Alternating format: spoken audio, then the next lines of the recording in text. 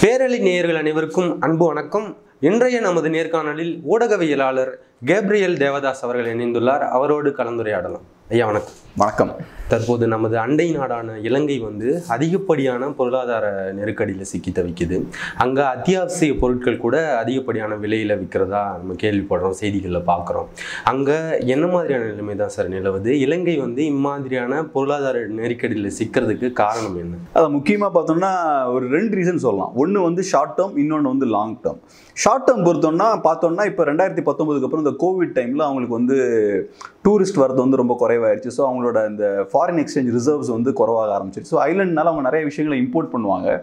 So அது வந்து அவங்களுக்கு ஒரு பெரிய ப்ராப்ளம் ஆயிடுச்சு அப்புறம் நிறைய விஷயங்களை இம்போர்ட் பண்ணுறது கொஞ்சமாக குறைச்சாங்க. அதில் வந்து அப்புறம் நீங்கள் கேள்விப்பட்டிருப்பீங்க அவங்க வந்து ஃபர்டிலைசர்ஸை இம்போர்ட் பண்ணுறதை ஸ்டாப் பண்ணாங்க. அதுக்கப்புறம் இயற்கை விவசாயத்துக்கு போகிறோம்னாங்க ஸோ அதெல்லாம் முக்கியமான காரணம் என்னென்னா அவங்களோட ஃபாரின் எக்ஸ்சேஞ்ச் ரிசர்வ்ஸ் வந்து ரொம்ப கம்மியாக இருந்தனால தான். அது அப்புறம் என்ன ஆச்சுன்னா அவங்களோட அக்ரிகல்ச்சர் அந்த டீ ப்ரொடக்ஷனை வந்து கொ- குறைச்சிருச்சு. அவங்க அவுட்புட் வந்து குறைச்சிருச்சு.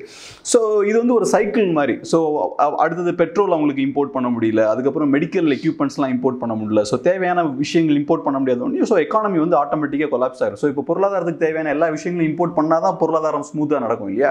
ஸோ அதெல்லாம் நடக்காத போது எக்கானமி வந்து கொலாப்ஸ் ஆயிடுச்சு இது வந்து ஷார்ட் டேர்மா லாங் டேர்ம்னு பார்த்தோம்னா ரெண்டாயிரத்தி ஏழுலேருந்தே ஸ்ரீலங்காவில் வந்து ஒரு பிரச்சனை இருக்குது ஸ்ரீலங்கா வந்து நிறைய கடன் வந்து ரெண்டாயிரத்தி ஏழுலேருந்து வாங்க ஆரம்பிக்கிறாங்க. இப்போ நம்ம அவங்களோட ஓவரால் அந்த கடன் அந்த பிரேக்கப் பார்த்தோம்னா டென் பர்சன்ட் வந்து அவங்க சைனாலேருந்து வாங்கியிருக்காங்க. ஜப்பான்லேருந்து டென் பர்சன்ட் கடன் வாங்கியிருக்காங்க. அப்புறம் சாவரின் பாண்ட்ஸ் வழியாக அவங்க வந்து நாற்பது பர்சன்ட் வந்து சாவரின் பாண்ட்ஸ் வழியாக கடன் வந்து ரைஸ் பண்ணியிருக்காங்க. ஸோ இந்த சாவரின் பாண்ட்ஸ் பொறுத்த வரைக்கும் அதுதான் உள்ளே அதிகமாக இருக்குது ஃபார்ட்டி பர்சன்ட் இருக்குது அது பார்த்தீங்கன்னா ஹை இன்ட்ரெஸ்ட் ரேட்டில் அவங்க கடன் வாங்கியிருக்காங்க. ஏழு புள்ளி அஞ்சு சதவீத இன்ட்ரெஸ்ட் ரேட்டில் ரெண்டாயிரத்தி ஏழு இந்த காலகட்டங்களில் கடன் வாங்க ஆரம்பிக்கிறாங்க. அது வந்து கரெக்டாக அவங்க பேமெண்ட் வந்து பண்ணலன்னா ஆட்டோமேட்டிக்காக என்ன ஆகும்? ஹை இன்ட்ரெஸ்ட் ரேட்டில் கடன் வந்து இன்க்ரீஸ் ஆகிட்டே இருக்கும். இன்னைக்கு ஏறக்குறைய அவங்களுக்கு வந்து ஐம்பத்தி ரெண்டு பில்லியன் டாலர்ஸ் வந்து கடன் இருக்கு. சைனாட்டிருந்து அப்புறம் போருக்கு வந்து நிறைய வெப்பன்ஸ்லாம் வாங்கினாங்க. அப்புறம் போர் டைமில் அவங்க லோன் சைனாட்டிருந்து வாங்கினாங்க. ஸோ இந்த விஷயங்கள்லாம் சேர்ந்து இப்போ வந்து லாங் டேர்மில் அதுவும் ஒரு முக்கியமான விஷயம். இன்றைக்கி ஒரு பெரிய ஒரு எக்கனாமிக் கிரைசிஸ் அங்கே வந்து நிற்கிது ராஜபக்ஷ சகோதரர்களுடைய நிர்வாக திறமையின்மை வந்து இலங்கையை இந்த மாதிரியான பொருளாதார நெருக்கடியில் கொண்டு தள்ளிருச்சு அப்படின்னு நம்ம எடுத்துக்கலாமா? அதே போல் வந்து ராஜபக்ஷவுடைய அரசு இந்த மத ரீதியிலான நடவடிக்கைகள் இப்போது தேவாலயத்தில் குண்டு வெடிச்சதாகட்டும் மற்ற இந்த மொழி சிறுபான்மையினர் இவங்கள் எல்லாத்தையும் அணுகுன விதம். இதனால் வெளிநாட்டினர் வந்து இலங்கைக்கு சுற்றுப்பயணம் போகிறதெல்லாம் குறைஞ்சிச்சு. அதனால அந்த விவகாரங்கள் கூட இந்த நெருக்கடிக்கு காரணம் கரெக்டாக தான் இப்போ வந்து ஸ்ரீலங்காவில் உங்களுக்கு தெரியும். பொலிட்டிக்கலாக ஒரு ஸ்டேபிளான ஒரு சூழல் இல்லை. எல்டிடி தோக்கடித்ததுக்கப்புறம் அங்கே ஒரு பொலிட்டிக்கல் ஸ்டெபிலிட்டி வரும்னாங்க. அது நடக்கல. ஸோ பொலிட்டிக்கல் ஸ்டெபிலிட்டி அங்கே இல்லைன்னா நீங்கள் சொன்னது போல் இந்த மாதிரி கலவரங்கள் இருக்கும். ஏதோ ஒரு சின்ன சின்ன பிரச்சனைகள் வந்துட்டு இருக்கும். அப்புறம் நீங்கள் சொன்னது போல் அந்த பாம் பிளாஸ்ட்லாம் வந்துச்சுன்னா என்ன ஆகும்னா ஃபாரின் டைரக்ட் இன்வெஸ்ட்மெண்ட்லாம் வரது வந்து ரொம்ப குறைஞ்சிச்சு அந்த பாம் பிளாஸ்ட்க்கு அப்புறம். அதே மாதிரி நீங்கள் சொன்னது போல் டூரிசமும் வந்து பெரிய லெவலில் வந்து பாதிக்கப்பட்டிருக்கு. ஸோ இதெல்லாம் முக்கியமான காரணம். ராஜபக்ஷ ராஜபக்ஷ அந்த ஃபேமிலியை பொறுத்தவரைக்கும் அவங்க நல்ல நிர்வாகத்திறன்லாம் கொண்ட மனிதர்கள் தான் ஆனால் என்ன சிக்கல்னால் இன்டென்ஷன் இருக்கு இல்லையா? அவங்களோட நோக்கம் தான் சரியில்லை. அவங்க கிளியர் கட்டாக தமிழர்களையும் சிங்களவர்களையும் மாறி மாதிரி சண்டை போட விடணும். அது வழியாக நம்ம அரசியல் ரீதியான கெயினை வந்து லாபத்தை வந்து அறுவடை செய்யணும் அப்படின்றது அவங்களோட நோக்கம். ஸோ அதனால் அவங்க பிளான் பண்ணி தான் பண்ணாங்க. இதில் சைனாவுக்கும் அவங்களுக்கும் பெரிய லாபம் இருந்தது. இலங்கை வந்து எண்ட் ஆஃப் தி இலங்கை வந்து பெரிய இழப்பை வந்து சந்திச்சுட்டு இருக்கு.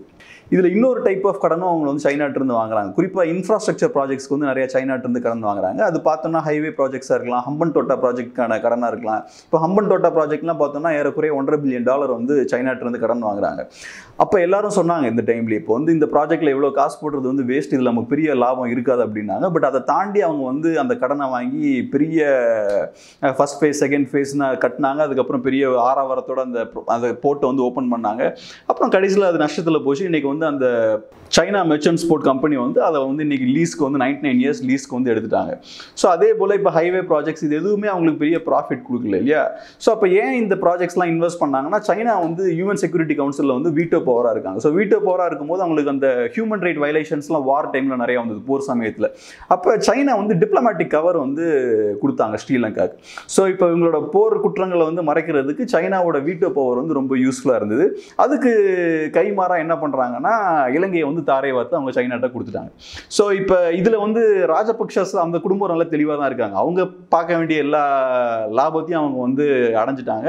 சைனாக்கும் இது லாபம் தான். பட் அங்கே இலங்கை மக்கள் வந்து அன்னைக்கு தெரியல இன்னைக்கு அவங்க வந்து அனுபவிக்கிறாங்க. அதுக்கான பிரச்சனைகளை. இந்த பகுதியில் இந்த பிராந்தியத்தில் இலங்கையில் வந்து இந்த மாதிரியான ஒரு பொருளாதார நெருக்கடி ஏற்படுறதும் அங்கே வந்து சீனா அதிகப்படியான முதலீடுகளை வந்து சே வாங்குறதும் லீஸுக்கு வந்து சில துறைமுகங்களை வாங்குறதும் இந்தியாவுக்கு என்ன மாதிரியான சிக்கல்களை கொடுக்கும்?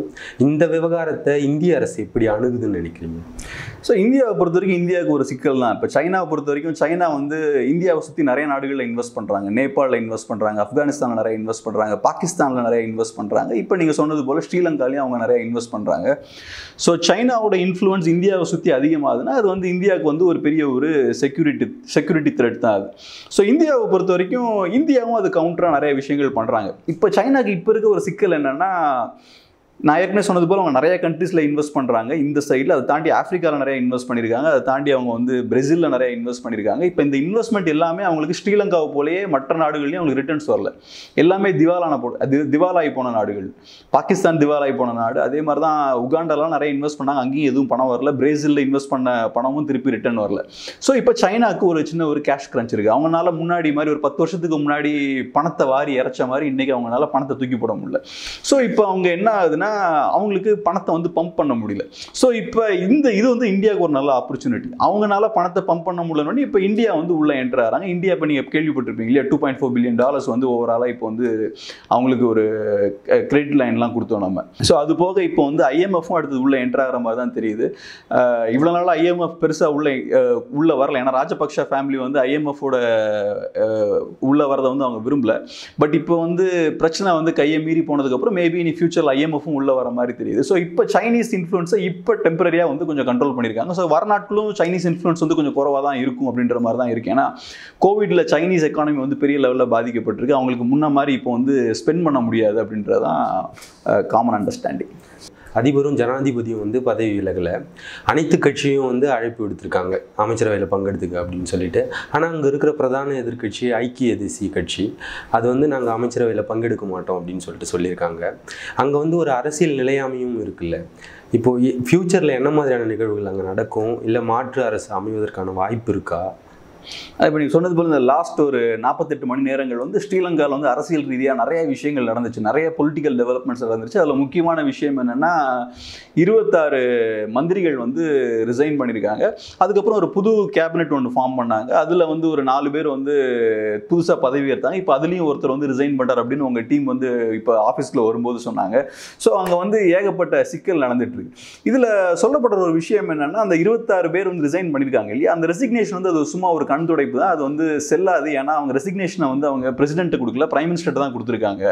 ஸோ அந்த ரெசிக்னேஷன் செல்லாது. அது ஒரு பிஆர் ஒர்க் தான் அப்படின்ற மாதிரி சொல்கிறாங்க இதில் ஒரு முக்கியமான ஒரு விஷயம் என்னன்னு பார்த்தோம்னா central bank of Sri Lanka governor அப்படின்றவர் வந்து அஜித் கப்ரால் அப்படின்றவர் வந்து ரிசைன் பண்ணியிருக்கார். இது எனக்கு தெரிஞ்சு ரொம்ப முக்கியமான ஒரு டெவலப்மெண்ட் ஏன்னா அஜித் கப்ரால் பார்த்தீங்கன்னா அவர் வந்து ஸ்ரீலங்கா ஐஎம்எஃப் இருந்து கடன் வாங்கக்கூடாது. ஏன்னா இன்னைக்கு இருக்கிற பிரச்சனைகளுக்கு எல்லாமே காரணம் ஐஎம்எஃப் கடன் தான் அப்படின்றதுல ரொம்ப ஸ்ட்ராங்காக இருந்தார். ஒரு டூ டேஸ் முன்னாடி கூட ஒரு பேட்டியில் வந்து ஸ்ரீலங்கா ஐஎம்எஃப் கிட்ட இருந்து கடன் வாங்கக்கூடாதுன்ற மாதிரி தான் பேசியிருந்தார்.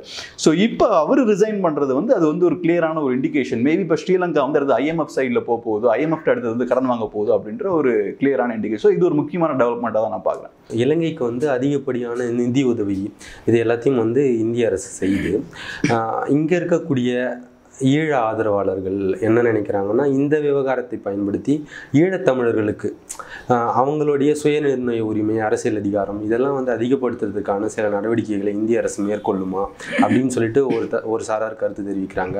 இன்னொன்று தமிழக அரசியல்வாதிகள் என்ன சொல்கிறாங்கன்னா இந்த விவகாரத்தை பயன்படுத்தி கச்சத்தீவை வந்து மீண்டும் நம்ம மீட்கிறதுக்கு ட்ரை பண்ணணும் அப்படின்ற மாதிரி சொல்கிறாங்க இதெல்லாம் சாத்தியப்படும் நினைக்கிறீங்களா?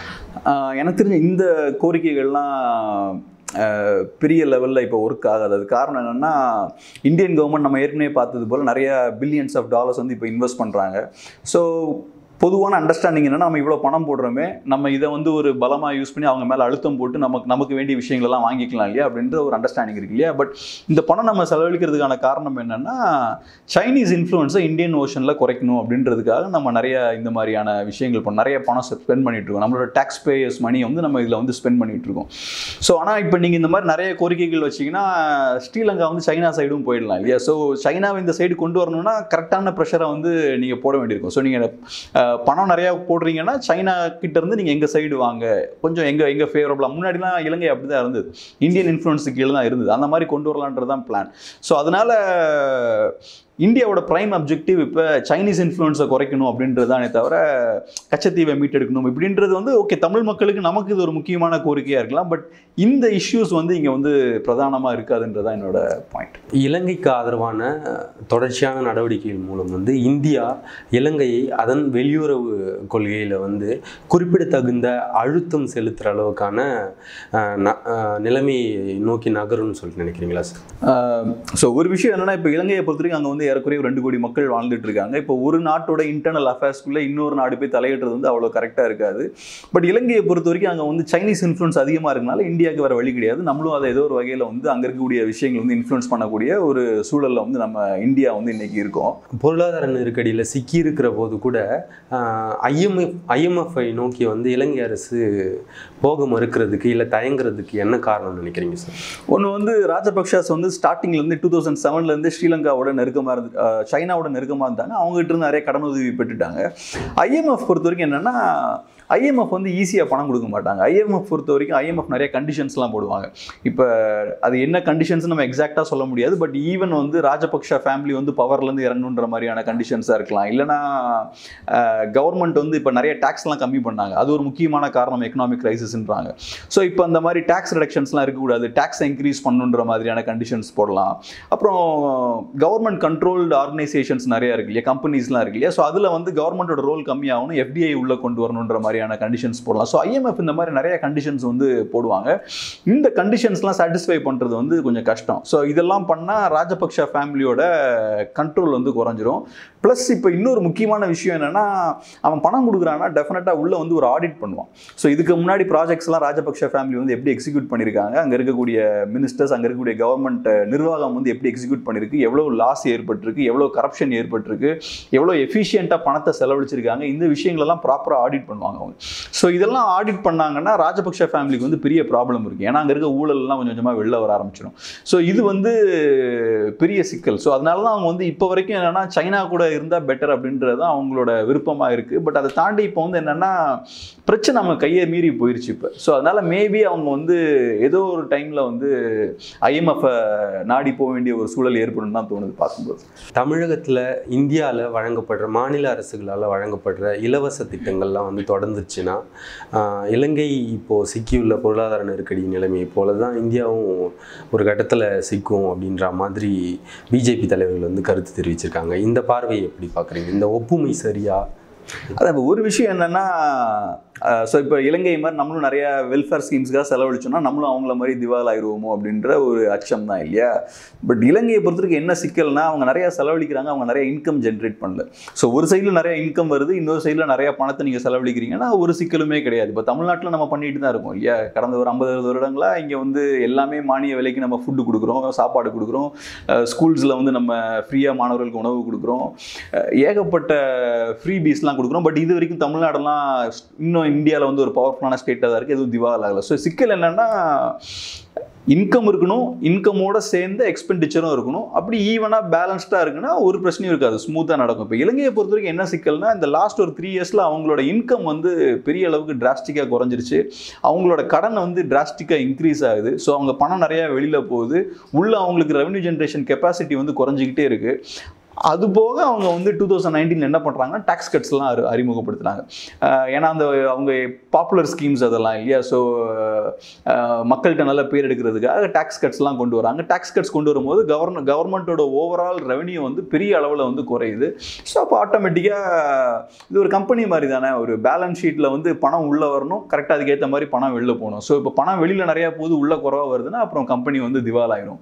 ஸோ இப்போ இலங்கைக்கும் அதே சிக்கல் தான் ஸோ இப்போ வெல்ஃபேர் ஸ்கீம்ஸால் இது நடக்குதுன்னு நான் டெஃபினட்டாக சொல்ல மாட்டேன். கரெக்டான ஒரு எக்கனாமிக் பேலன்ஸ் இல்லாதனால. ஸோ அஞ்சு ரூபா வருதுன்னா அஞ்சு ரூபாய்க்கு நீங்கள் வெல்ஃபேர் ஸ்கீம் பண்ணணும். அதை தாண்டி நீங்கள் நிறையா பண்ணீங்கன்னா அவங்க கையை மீறி சுச்சுவேஷன் போயிடும். அதான் அங்கே நடந்திருக்குன்னு நினைக்கிறேன். பொருளாதார நெருக்கடி அந்த அந்த நெருக்கடியிலிருந்து இலங்கை வந்து மீள்வதற்கான வழி அப்படின்னா என்ன சொல்லுவீங்க? ஸோ நம்ம ஃபஸ்ட்டே பார்த்தது மாதிரி அவங்களோட இலங்கையோட வீழ்ச்சிக்கான காரணம் என்ன அப்படின்னு நீங்கள் பார்த்தீங்கன்னா டூ தௌசண்ட் செவன்லேருந்து அவங்க வந்து பெரிய லெவலில் வந்து ஒரு போரில் வந்து இன்வால்வ் ஆகிறாங்க அதுக்கு அதை ஃபினான்ஸ் பண்ணுறதுக்கு நிறைய கடன்லாம் வாங்குறாங்க. அந்த கடன் வந்து கொஞ்சம் கொஞ்சமாக மல்டிப்ளை ஆகி இன்றைக்கி வந்து ஒரு பெரிய ஃபினான்ஷியல் ப்ராப்ளமில் அவங்கள கொண்டு வந்து விட்டுருக்கு இல்லையா? ஸோ சிக்கல் இதுதான். இப்போ வந்து ஒரு நாட்டு மக்கள் வந்து அவங்களுக்குள்ளேயே ரெண்டு பேர் ரெண்டாக பிளவுபட்டு சண்டை போட்டால் இது வந்து ஏதோ ஒரு டைமில் வந்து பெரிய பிரச்சனையாக போய் ஒரு பாயிண்டில் முடிஞ்சிடும். இனிஷியலாக பார்க்கும்போது வந்து அது பொலிட்டிக்கலாக ஒரு கட்சி ஜெயிச்சு வர வரதுக்கு வந்து பெரிய யூஸ்ஃபுல்லாக இருக்கலாம். பட் ஏதோ ஒரு பாயிண்ட்டில் அது வந்து அந்த நாட்டை வந்து ஒன்றும் இல்லாமல் பண்ணிடும் அது வந்து இலங்கையில் நம்ம நடக்கிறத பார்க்க முடியுது. ஸோ என்ன பொறுத்த வரைக்கும் ஃபஸ்ட்டு வந்து அங்கே வந்து ஒரு பொலிட்டிக்கல் ஸ்டெபிலிட்டி வந்து இலங்கைக்கு தேவை. ஸோ தமிழ் மக்கள் சிங்களவர்கள் இவங்க ரெண்டு பேருக்கு இருக்கிற சிக்கலெல்லாம் ரெக்கன்சிலியேஷன்றோம் இல்லையா? அந்த மக்களை வந்து ஒற்றுமைப்படுத்தி ஸோ அங்கே இருக்க பிரச்சனை பொலிட்டிக்கல் ப்ராப்ளம் வந்து இல்லாமல் முதல் செய்யணும். அதை பண்ணதுக்கு அப்புறம் தான் அங்கே வந்து எக்கனாமிக் ரீபில்டிங் வந்து நம்ம யோசிக்க முடியும் அப்படின்றது என்னோட பாயிண்ட் ஏன்னா இப்போ நான் பார்த்த வரைக்கும் அங்கே வந்து டூரிசம் சீக்கிரம் டெவலப் ஆக போகிறது கிடையாது. ஃபாரின் டைரக்ட் இன்வெஸ்ட்மெண்ட் சீக்கிரம் வரது வரப்போகிறது கிடையாது. இப்போ இருக்கிற சுச்சுவேஷனை உலகத்தில் இருக்க எல்லா மக்களும் பார்த்துட்டு இருப்பாங்க. பொலிட்டிக்கலாக கலவரம்லாம் நடந்துட்டு இருக்குன்னா எல்லாம் பார்த்துட்டு தான் இருக்க போகிறாங்க ஸோ டூரிஸ்ட்லாம் இங்கே வரமாட்டாங்க காசு செலவழிக்க மாட்டாங்க. அதே மாதிரி வெளிநாட்டு பணமும் உள்ளே வரது வரப்போகிறது கிடையாது. ஸோ இப்போ அவங்க கையில் இருக்கிற ஒரே ஆப்ஷன் என்னன்னா அடுத்தது ஐஎம்எஃப் உள்ளே வந்து பெரிய இன்வெஸ்ட்மெண்ட் கொண்டு வரணும். ஐஎம்எஃப் உள்ளே வராங்கன்னா எப்படி நைன்டீன் நைன்டி ஒனில் இந்தியா இந்தியன் எக்கானமி லிபரலைஸ் பண்ணும்போது ஃபாரின் இன்ஸ்டியூஷன்ஸ் வந்து அப்போ இந்தியாவை நிறைய கண்டிஷன்ஸ்லாம் ஃபாலோ பண்ண வச்சாங்க. அதுக்கப்புறம் தான் அவங்க வந்து இந்தியா வந்து அந்த பொருளாதார பொருளாதார சிக்கல்லேருந்து மீட்டு மீண்டு வெளில வரதுக்கு உதவுனாங்க இல்லையா? ஸோ அதே மாதிரி தான் ஸ்ரீலங்கன் கேஸ்லேயும் நிறைய கண்டிஷன்ஸ்லாம் போட்டு தான் அவங்க வெளில கொண்டு வருவாங்க. ஸோ பட் இது நடக்கிறதுக்கு முன்னாடி எனக்கு தெரிஞ்சு வந்து ஃபஸ்ட் அங்கே வந்து ஒரு பொலிட்டிக்கலான ஒரு பொலிட்டிக்கல் ஒரு ஸ்டெபிலிட்டியை வந்து ஸ்ரீலங்காவில் கொண்டு வந்ததுக்கப்புறம் அதுக்கு மேலே ஒரு ப்ராப்பரான ஒரு ஒரு எக்கனாமிக் ஸ்ட்ரக்சரை வந்து பில்ட் பண்ணலாம். அது இல்லைன்னா என்ன ஆகும்னா இதே மாதிரி தான் நிறைய பேர் இப்போ சைனா பணம் உள்ள போடுவாங்க இந்தியா பணம் உள்ள போடுவாங்க அதெல்லாம் டெம்பரரி தான். ஸோ நம்ம டெம்பரரியாக பணம் உள்ள போடுவோம் அதுக்கப்புறம் ஒரு ஆறு மாதம் கழிச்சு திருப்பி அவங்க திவாலாவாங்க அதுக்கப்புறம் சைனா ஒரு கொஞ்சம் பணம் போடுவாங்க திருப்பி ஒரு ஆறு மாதம் கழிச்சு திவாலாவாங்க இதான் நடந்துகிட்டே இருக்கும். ஸ்டெடியாக இலங்கை முன்னாடி மாதிரி ஸ்ட்ராங்கான ஒரு நேஷனாக இருக்கணும்னா அது ஒரு ஒன் நேஷனாக எல்லாருக்குமான நேஷனாக இருந்தால் அது நடக்கும். உங்களது வருகைக்கும் கருத்து பகிர்வுக்கும் நன்றி. நன்றி.